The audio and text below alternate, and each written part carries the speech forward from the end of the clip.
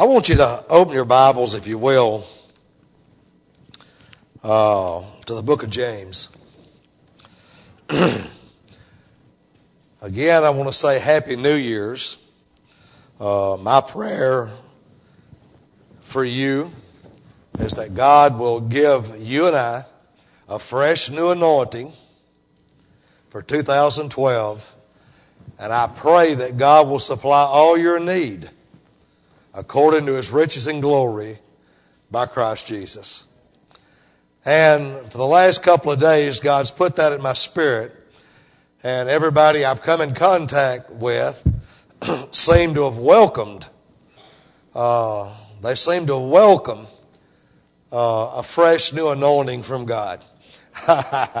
Hallelujah. And uh, I always want a fresh new anointing from God. And I certainly uh, want God to supply all my need uh, according to his riches and glory by Christ Jesus. And that's the only way I want it. Somebody say amen. I want God's blessing is what I'm trying to say. And you need God's blessing.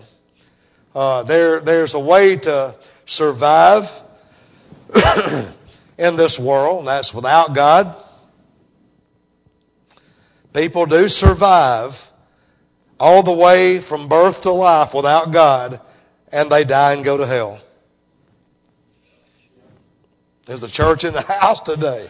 Yeah, that's the basics. That's basics 101 of the gospel. You live your life without Jesus, you'll die and go to hell. Somebody say amen. And then there's another way. And it's the only way for God, and that's the Jesus way. Somebody say amen. And uh, I want to follow Jesus. And I want my blessings and life to come from Him. Many today in America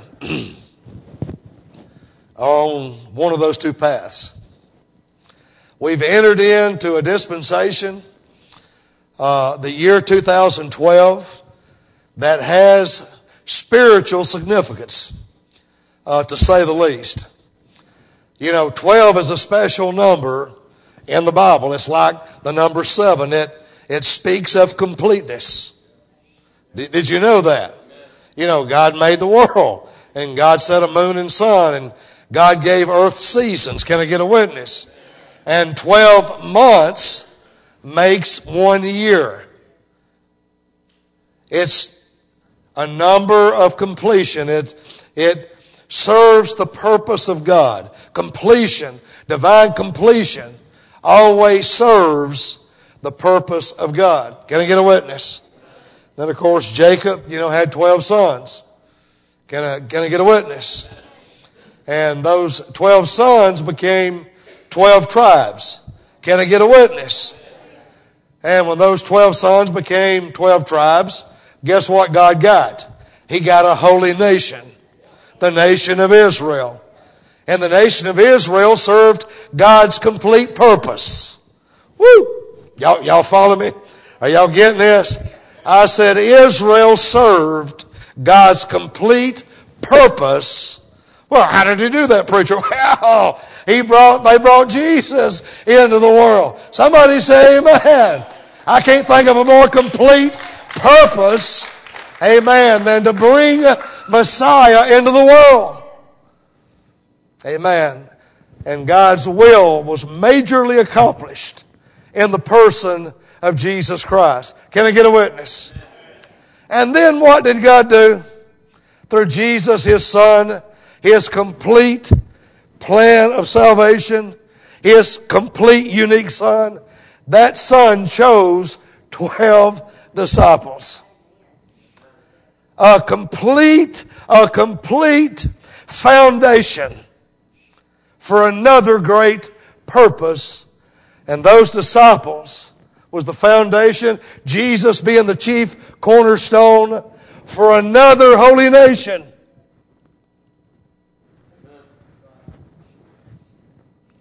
Boy, y'all got quiet. What, what, what nation? Well, it's the nation of the born again church. Somebody say amen.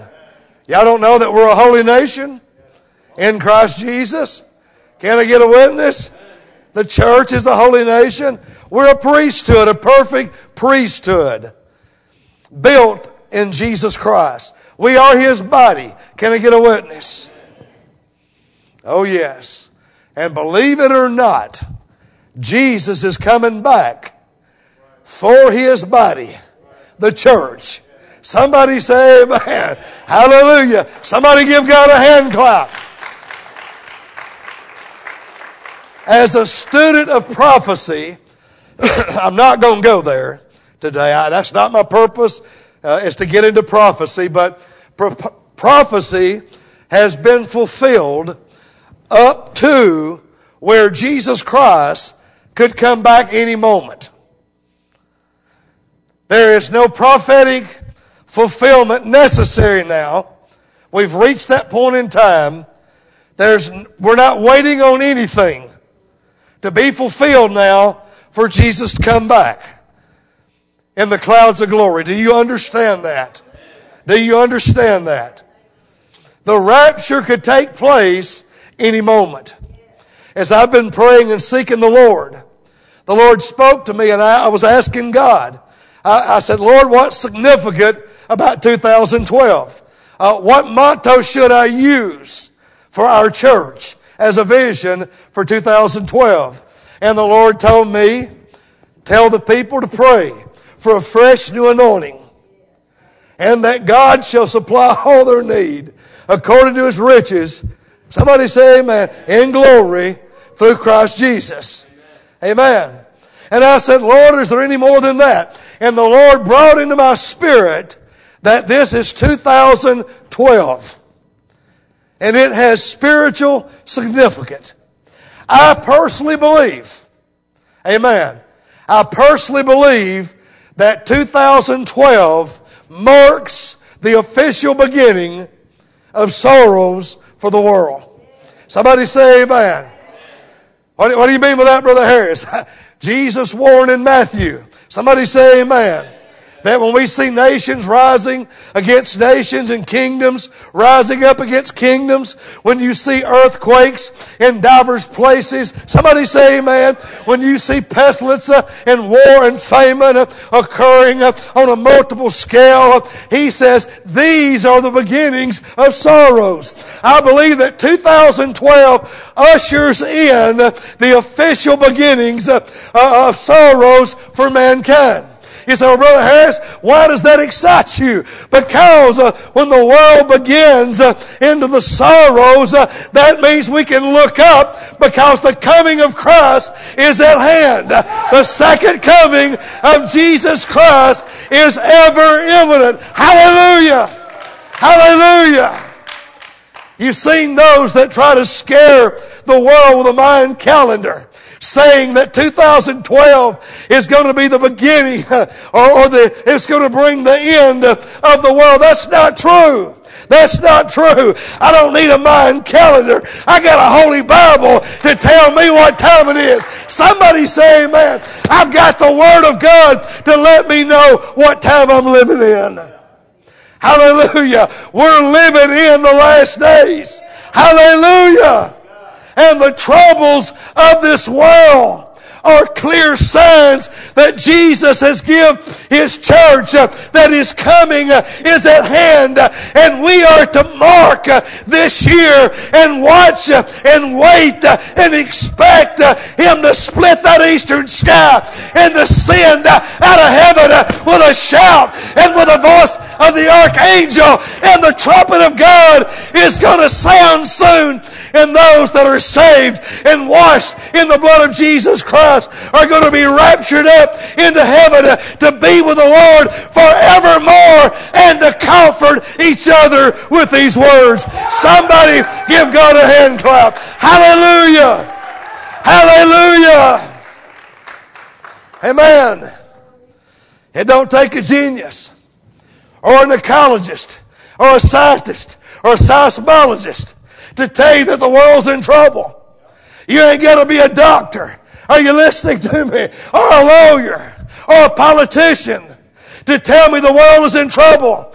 Jesus told us, uh, hallelujah, 2,000 years ago, in the last days that things will wax worse and worse and worse. Amen. It's almost, it's almost funny if it weren't so sad. How that people are desperately looking to our politicians to deliver us from the unforeseen dangers of the future. I don't care if you're a Democrat, a liberal, or a Republican. I'm not looking. I'm not looking in that direction for my source of hope or strength. Somebody say amen. Hallelujah. Well, who are you looking to, preacher? I'm looking unto Jesus, who's the author and the finisher of my faith. Somebody say amen. And that's who you better be looking to, hallelujah, as you make your journey toward heaven in this dispensation of 2012. You better keep your eyes fixed on Jesus. In the book of James, chapter 1, the Bible says in verse 5, chapter 1, verse 5, if any of you lack wisdom, let him ask of God, which giveth to all men liberally and upbraideth not, and it shall be given unto him. Somebody say amen. But when you ask God for wisdom, and that means for understanding, for foresight, you ask him in faith, nothing wavering. For he that wavereth is like a wave of the sea, driven with the wind and tossed. Now I want you to go to chapter 2 and verse 5. Hearken, my beloved brethren, hath not God chosen the poor of this world rich in faith, in heirs of the kingdom, watch this, which he hath promised to them that love him? Do you see there that God promises a kingdom for those that love him?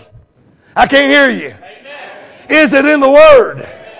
Amen. That the church is not headed for destruction. We're headed to be a part of a kingdom. Hallelujah. God is leading us toward His kingdom and the fulfillment of His kingdom.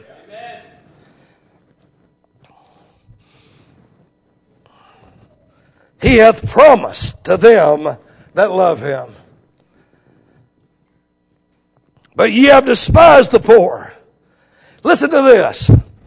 Do not rich men oppress you? Listen to the wisdom of James. Don't rich people oppress you and draw you before the judgment seats? Do not they blaspheme that worthy name by which you are called? Watch this. If you fulfill the royal law according to the scripture, thou shalt love thy neighbor as thyself, God is saying if you'll just be willing as a Christian to love your neighbor as yourself, ye do well. Somebody give God a hand clap. Hallelujah. Hallelujah. the royal law is to love the Lord, follow the Lord, and treat your neighbor as yourself. We're not to look to the rich for our deliverance.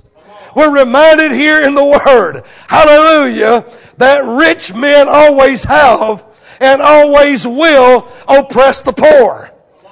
Amen. Who are these rich people? Is it a brother or sister in the church doing well? No. No. It's the people that rules the world. Are you listening to me? We are not to look to those in government. Are you listening to me? We are not to trust those in government. We are not to look to them as our source.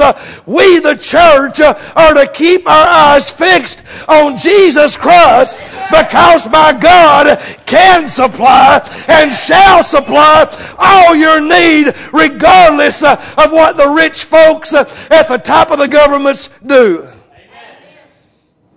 Now, as we look around the world we're living in, looks like the rich folks ain't doing a good job in governing the nations. It looks like the rich folks in America. Let, let, me start at home. The Bible says judgment must begin in the house of God. Somebody say amen. Before I talk about other nations, uh, let me talk about our nation. Our political leaders uh, have made some foolish, selfish, greedy decisions that's put every American at risk today. I've never known of a time in my life, and I'm 55 years old. I'm educated. I'm a history student. I love history. I've researched history. I've never saw, never read about any time in history where the world was more vulnerable. Are you listening to me? More flaky, more unstable, more unsure than the world we're living in today. You better listen to me carefully. The world today is in a worse off condition than when Hitler almost conquered the world. We're more vulnerable today than the world was then. Why is that? Well, I could get up here and give you a big history lesson, but to keep it short and blunt. We got psychos in North Korea with nuclear weapons. Ahmadinejad now Iran is a idiot, a, a demon possessed idiot acquiring nuclear weapons. Are you listening to me? We've got Pakistan and India, unstable nations, deadly enemies next door to one another with nuclear weapons. Somebody say amen. We live every day under a nuclear threat. And Jesus warned that in the last days there would be these kind of famines and pestilences. Now watch this. I hadn't even mentioned natural disasters. The Bible says not to trust in rich people to provide for you, to take care of you because all they're going to do is take care of themselves. Somebody say amen. And before you go mark me as unpatriotic, I want to remind you I served in the Army and the United States Navy. I'm dishonorably discharged from both. Honorably discharged from both, not dishonorably discharged. Amen. Conflict in my interest there. I have a honorable discharge from both. I'm very patriotic. During the first Persian War, I was willing to go into the military as a chaplain. Many of you don't know this, but I tried to get back in. And I was too old, they said. Amen. I love America. And that's why today I'm going to share with you some principles that can save your life. And of course, what I'm going to preach today and teach today and lecture today are things that would apply to global need. So no matter where you're at in the world, if you'll get your pen and paper out, I will tell you things that you, you'll possibly need to survive in the future. Amen. I could talk about the possibility of war, a dirty bomb. I could talk about terrorists attacking the United States again. But did you know that today most Americans say they believe that the United States is on the verge of an economic collapse. Did you know that's the greatest concern of the of 70 plus percent of Americans? They are afraid that the American dollar is going to fail. And can I tell you that that is a legitimate concern. Economically, the world is teeter and totting. Somebody say amen. The world's economy is like an egg. I would sit right here on the edge and keep pushing the egg uh, to get it balanced. Are you listening to me? At any moment, uh, that's what kind of pressure we're under economically in the world. They, they're pushing the dollar. Are you listening to me? To its limit. We're borrowing completely out of control. Are you listening to me? I couldn't run my household uh, like the government's running its household. You couldn't either. Somebody say amen.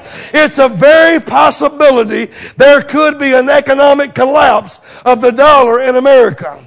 And if there, if there, that happens, if this does come to pass, most people are not prepared. Most people, most people, if our economy went bankrupt, most people only could survive for about a month on what they have in their homes. Now, if America is attacked by a terrorist with a nuclear bomb, that could offset the world economy. If Ahmadinejad tries to block the Strait of Hormuz, uh, the United States ain't going to let that happen. Are you listening to me? They will not let that happen. Israel will not let that happen. If Israel's attacked, they will have to defend themselves.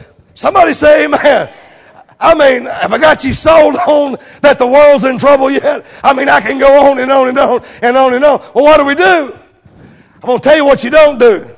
The first thing you don't do is put your trust in man and don't put your trust in uncertain riches. Uh, the Bible teaches uh, the child of God not to trust uh, in money.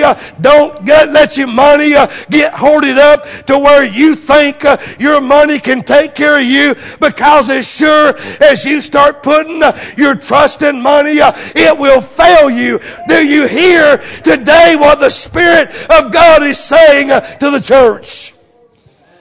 And how most people today in America are trying to deal with the unforeseen dangers we're facing. They're trying to hoard up money. Listen to me. If the dollar collapses, if America goes bankrupt, we would be in more trouble than as a nation than we were during the Great Depression. Why is that? It's because this generation of people today don't know how to farm. They don't know how to hunt. Are you listening to me? They don't even really know how to work together.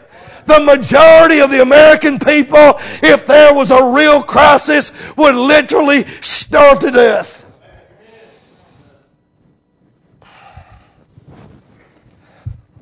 Literally starve to death. And it bothers me as a pastor to see so many people living in this turbulent time naive.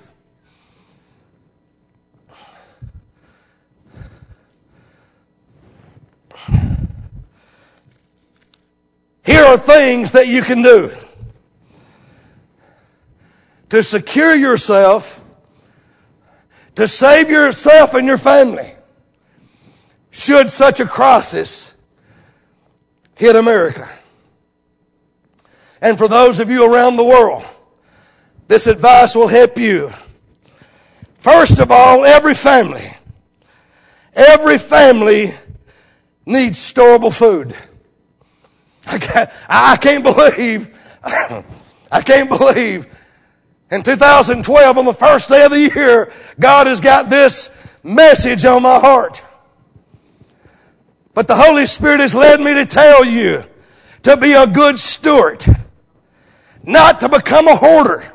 And the Holy Ghost has just spoke that over and over in my spirit. Make sure my people know they are not to hoard, but to trust me. Do not hoard, but trust me. And I said, Well, God, to what degree are we to trust you? What are we to do? What am I to tell these people? And the Lord says, tell them to be good stewards over what I've blessed them with. Did you know that good stewardship is very biblical?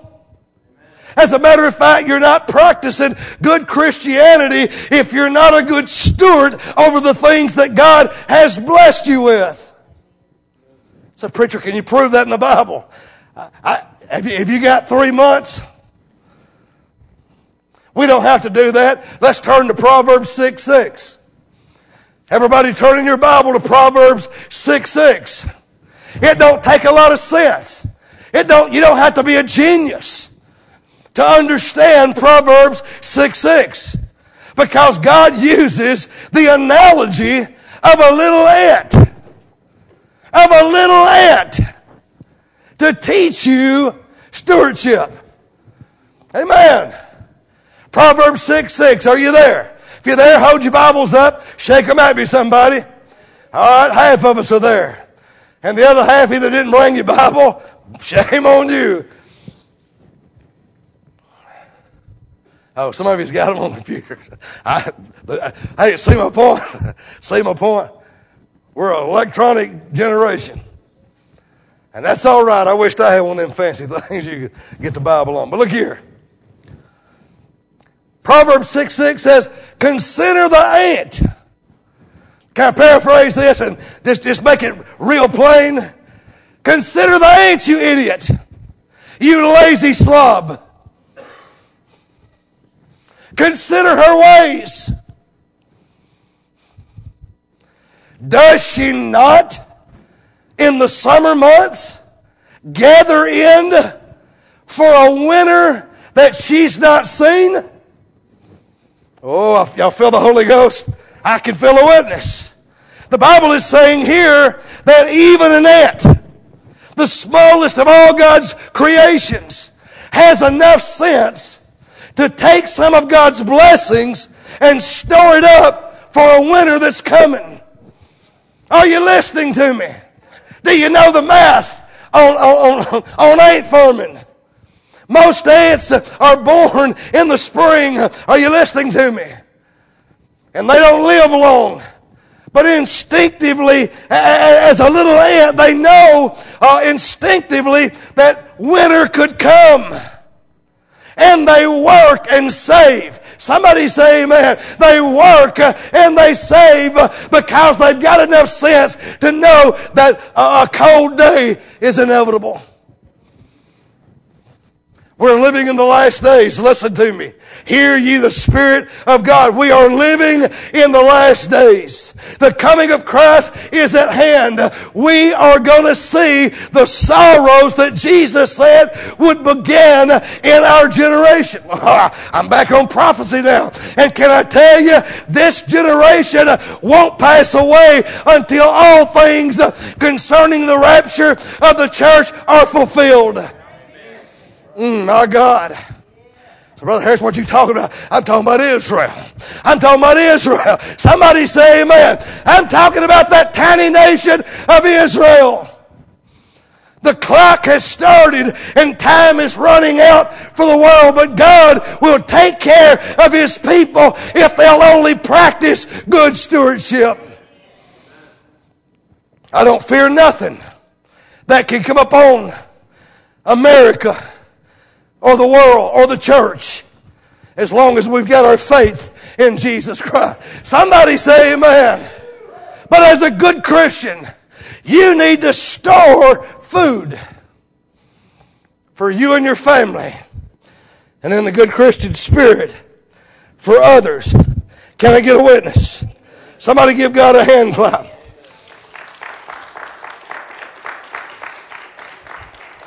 I believe that we ought to stock up for a good three months on storable food. Storable food.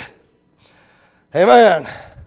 I believe that it's wise for every Christian to invest in seeds for a garden.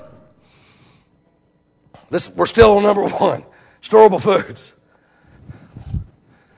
Well, I'll just wait till the crisis comes and I'll run down to the Walmart. Hadn't you learned from Katrina? The federal government can't even save one city. Did y'all not see that? They could not save one American city. There was lawlessness in New Orleans. People were starving. Women were being raped in the Superdome. I heard the testimony that a man shot his sister in the face with a gun over a bag of ice. Ain't that right, Brother John? Absolutely. Preacher killed over. Well, I don't want to get into all of it. Y'all, y'all do know that I'm telling you the truth, right? How many feels like we need to hear this word? You need to invest in seed. That it would take a year and a half to lecture you on every aspect of how to survive a disaster. But I'm giving you a crash course to get you through most disasters. You need to invest in seeds that you can plant. And you need to invest in storable foods for, enough, for a long enough period so that before that's ate up, you could plant a garden. And did you know, if you know anything at all about gardening, you can take a half acre of land. Your front yard, if you do it right, can grow more things than you'll be able to eat, you and your family. You'll have to give some of it away. Somebody say amen. Hey, I'm a farmer. I know. I don't think it would hurt every Christian family to go buy about six hens and a rooster and build you a little chicken pen to get eggs from. Am I ridiculous or is it y'all feel like God's saying something to us?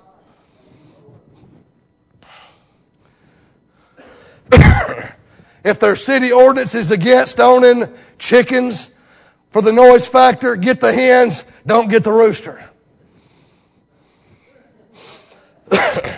but as for me and my house, we like roosters.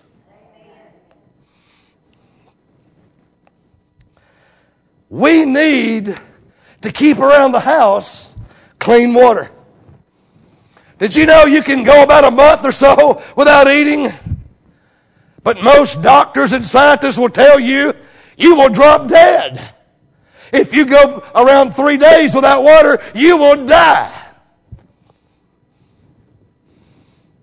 And if the national disaster or local disaster, if it's natural or man made, and the hydrant quits working, you need to have you storable water. Write that down. Number two, storable water. Every family needs to keep clean water. A few days you'll die without water if your tap stop. Have a plan.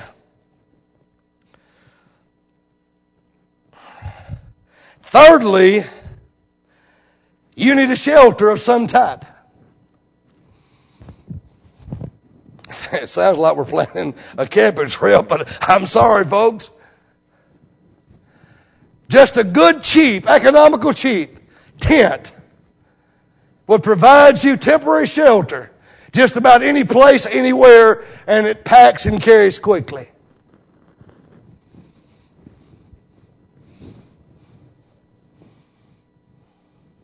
I come this close, this close to buying a nine man tent for Christmas.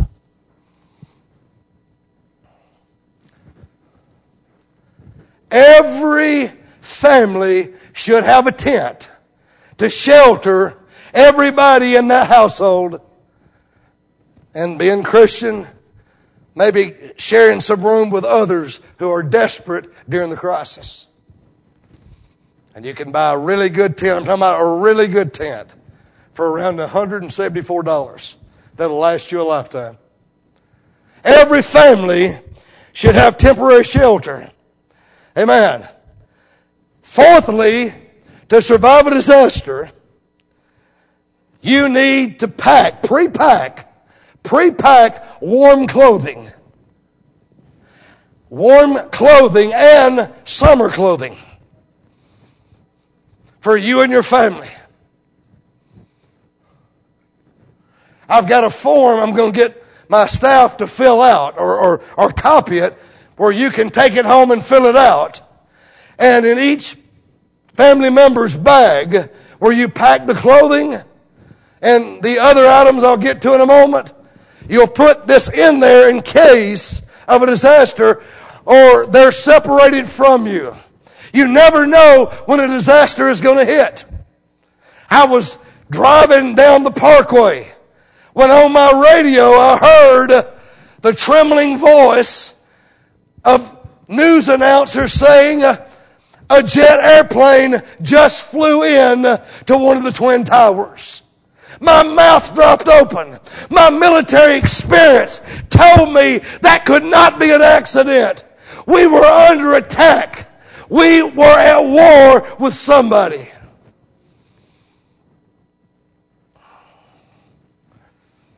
Americans, you're living too loose. You've become too naive. You've become too soft. Somebody say, man, we're living in a dangerous time that God forewarned us about. God's going to do His part. I'll get to that in just a moment. God will do His part, but God expects you to do your part. And your part is to plan. Somebody say amen. That's your responsibility as a good steward of God, like the little ant, to take time and save and plant and invest in a rainy day. Every, every family needs a good axe. Write that down. A good axe. It serves so many purposes that any outdoorsman any hunter would tell you that an axe is an invaluable tool. And I know what some of you's thinking. Well, I got a big chainsaw, preacher. Let me tell you something. In a real crisis, you ain't gonna have gas and all for a chainsaw. You better hear what the Spirit is saying to the church. You need an axe, a good quality axe, and it needs to be very sharp. Not only to cut wood for a fire so you can cook, are you listening to me? Where you can bathe, but an axe is a good weapon to defend yourself against wild animals and dogs that'll be roaming the streets. Some of you saying, Preacher, come on now. No. Go back to Katrina. The dogs packed up. The dogs packed up and literally attacked people in New Orleans. While the government was twirling their fingers. People starved. People bled to death. People died because they were trusting in rich folks in Washington I don't mean to sound ugly, but they don't give a squat about me and you. We ain't nothing more than a customer, and when we quit being a good customer for them, they'll jump on a plane and go to Sweden. America, we have lost in leaders with integrity. I can't think of a, one really good political leader. You'd have to go all the way back to, to, to JFK. I believe that when they killed him, we lost the last president that really cares about people. I hate to sound so tough this morning, but this is a tough message. You need a sharp axe. And you need to invest in lighters and matches. Write that down. Lighters and matches. Every survival kit Everybody that plans for a disaster needs to have lighters, not one, but plenty of lighters and matches. And number seven, write this down. In a disaster, ladies, high heels and disasters don't go together.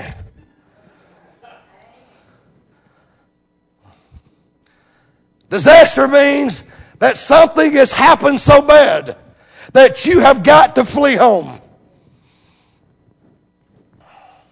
Hiking boots? Hmm, good idea. Tennis shoes? Good idea. High heels? Bad idea. And you need to have good shoes. Comfortable shoes for everybody in your family.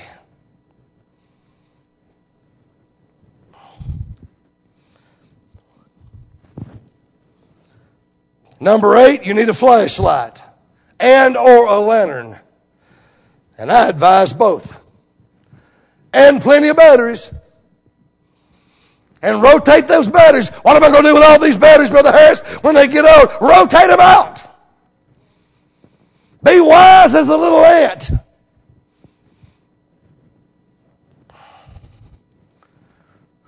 You know, I got a beehive with 80,000 bees in it. I didn't count them all. I just took it and figured it up by math. They don't mind me getting my cut out of the hive. I ain't been bit one time. But I'm going to tell you something. If I went into that beehive and took everything out of it and didn't leave them nothing for winter, I wouldn't have a beehive next year. You ain't got to rob the whole beehive to do what I'm telling you. You can gather these things a little alone. Not only are you going to need a flashlight and a lantern, but for a plan to survive a disaster, you're going to need a good transistor radio. Now, a radio comes in handy because the government uses radio frequencies and signals. Police use radio frequencies and signals. Somebody say amen. You can get a radio signal out when no other form of communication will work. I know that because I was a strategic microwave systems repairman in the United States Army. My MOS was 26 Victor 20.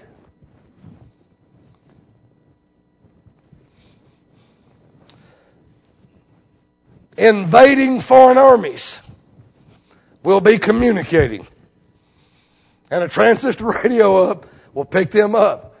So if you're in a disaster and you saw a big flash up north and you know, everything's blowed down and, and, and you, you turn your radio on and, and you hear Chinese guys talking, pray, pray, pray. We're in bad trouble.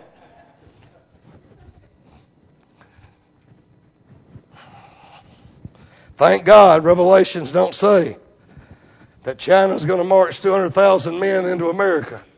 They'll try it on Israel, but they got a big surprise coming. you need communication equipment. I think that walkie talkies is a good investment. I'm just going to throw that out there as number 10. Have an emergency cell phone that works. Pay your cell bill. You never know when a disaster is going to happen. Have you a good cell phone.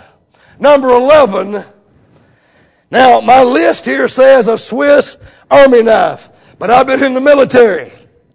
I'm a hunter. You don't need a Swiss army knife, you need a big buck knife. I'm talking about one of them, one of them big hunting knives with serrated edges on it. That's what kind of knife you need. Because you can chop down little trees with it and make a lean-to shelter. Can I get a witness? You watch Survivor, man. Surely you know this. He don't pull out a, a little Swiss Army knife. The brother pulls out a big, long, sharp knife. Cuts down some wood. Somebody say amen. And when you ain't cutting down wood and stabbing dogs, you might have to use it to stab somebody. And now I'm getting serious because in a disaster, it's usually, if, if it's a certain level disaster, it's every man or woman or boy or girl for theirself. And I'll show you how to fix that dilemma in just a minute. But get a big knife. Invest in a good knife. One of my friends years ago, Pete Stearns, he called me the other day. Supposed to start coming back to church. For Christmas one year, he bought me a big, long black buck knife. And I've still got it today. And I'll always have it. Because a good steward is always going to have a knife. Are you ready for number 12? Bring the soap. Personal hygiene items. Pack some up. You're going to need them.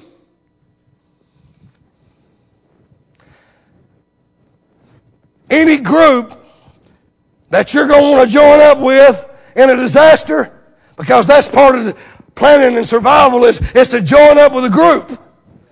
Nobody likes to be around somebody that don't smell good. You can be poor, you can be in a disaster, but you can still keep your skin clean. and keep your body hygiene. Somebody say amen. Pack some of that stuff up to make you smell good, to clean you up a little bit. Number 13, and I don't believe in bad luck, this is good. Every family needs a first aid kit and some medical supplies. Because you never know in a crisis if you're going to get hurt or in the crisis you may become hurt. Or someone in your family or your next door neighbor. And I hate to even tell you this one, but it's something you got to do. Number 14, you need to store extra gasoline around. That's so important. Extra gasoline.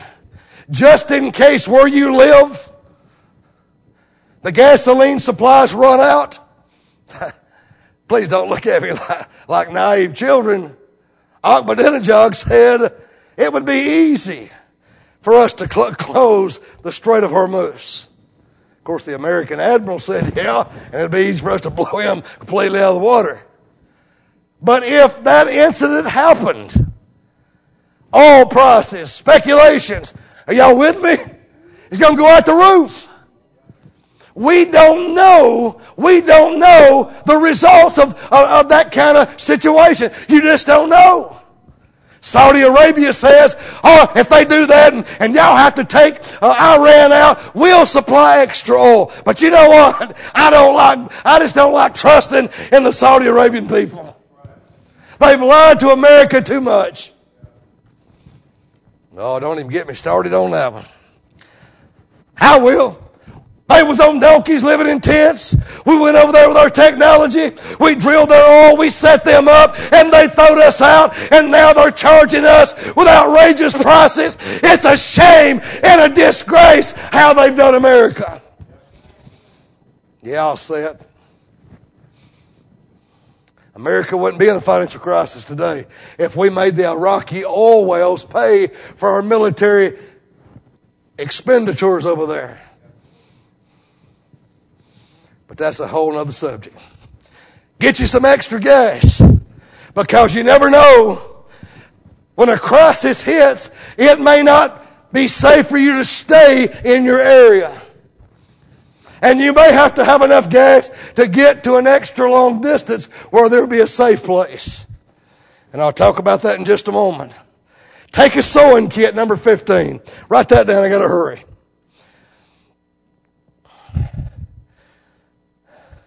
You're not going to be able to run out and buy new clothes in a disaster for your family. So what do you do? You patch. You sew. Also, sewing kits sews up more than clothes. If you get my drift.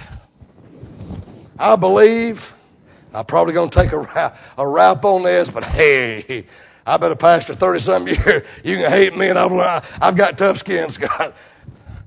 I know folks ain't gonna like to hear preachers say this, but buy a gun. It's still your free right as an American. Now I know they're trying to take them away from us, but go on out and buy you a gun to defend your family. Yeah, somebody ought to give God a hand clap. Oh God, don't leave me out here. Don't leave me out here on the stump all by myself. Yes. Our Constitution gives us the right to bear arms. And I'm proud of the Constitution. And I think the American people are to be willing to fight and die for the American Constitution. I want to remind every veteran that watches this video, we swore an oath before God that we would defend the Constitution of the United States of America. If any man dares take that Constitution away or alter it, we, un- we are under a vow to defend it before God. Now somebody give God a hand clap. What are you saying, preacher? I'm saying don't mess. Don't mess with the American Constitution. Those are fighting words. And every veteran ought to feel steered up in their heart to hear another veteran say that. I will go to war against you. Whether you're an enemy from the outside or the inside, don't mess with the Constitution. It's a sacred document given to us by God. You not only need a gun, but you're going to need a compass. Everybody write down, I need a compass. You need a compass because if you're forced into the wilderness and under some kind of nuclear attack, dirty bomb, that's where people will go. You'll be directed to go into the wilderness. Have y'all saw that documentary? I'm not kidding here now. I'm serious. Where all the major governments of the world has got a plan. The, the military governments of the world, the, the dominating powers, they have a plan, a real plan, in case we're invaded by aliens. I'm not kidding. I'm not kidding. This is the truth. The United States, China, Russia, they're all in it. In case we're invaded by aliens, they've got a military plan. So why I think it's strange that a little Holy Ghost preacher wants his parishioners to prepare and plan to survive a disaster. When they think the Martians are coming. I tell you who is coming.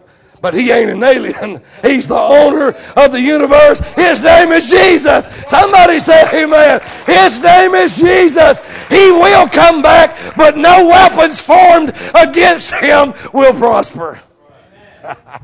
Lord have mercy. To get me on that. Woo!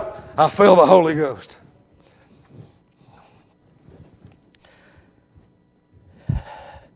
Everybody needs a backpack, a hiking backpack, so you can carry your stuff in. Now write this down. I'm going to skip on past the backpack. Some of Somebody's going to do a suitcase regardless of what I say. But this one here is a wise ant that will do this one. They will get in a good community before disaster happens. Man, don't miss this one. A good steward, a wise believer, is going to get deeply connected.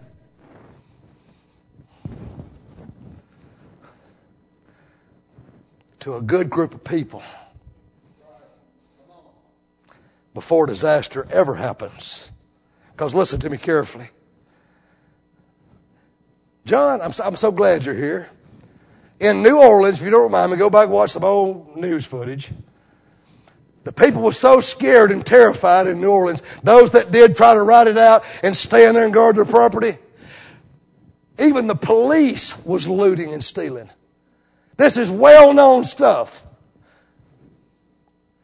Guess what they had to do to get some of those people to give up their guns and come out where they could help them. They had to get the pastors, the pastors to go in to the suburbs and talk the people out of their houses. They were so paranoid, so gunshot, so abused, so afraid.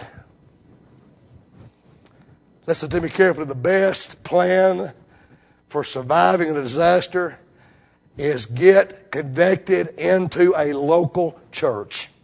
Do it now. Do it now. Do it now. Somebody better clap for Jesus. I said you need to be involved in your church. Amen. I wouldn't mind going out there and telling my members, hey, it's Brother Frankie, come on out. These guys ain't going to hurt you. But if you ain't going to my church and you got a shotgun, I'm not going to go talk you out of your house. I'll tell the police I'll pray for y'all. Good luck.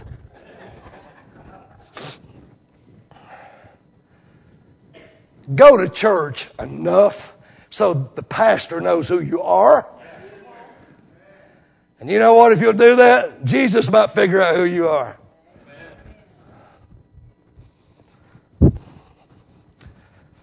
Y'all knew I was going to get going to church in this thing somehow, didn't you? But it's a proven survival strategy that works. Be connected to a community.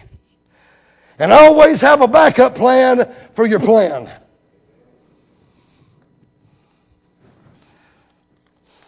Everybody needs a safe place to go when your place is not safe. Somebody say amen. Have a backup plan. Backup plans means that when you've stocked and you've prepared and you realize that your place is not going to be a safe place, get out of there and go to your backup safe place. And today that concludes my lecture on how to prepare and plan to survive a disaster. Thank you for your time. Thank you for your attention.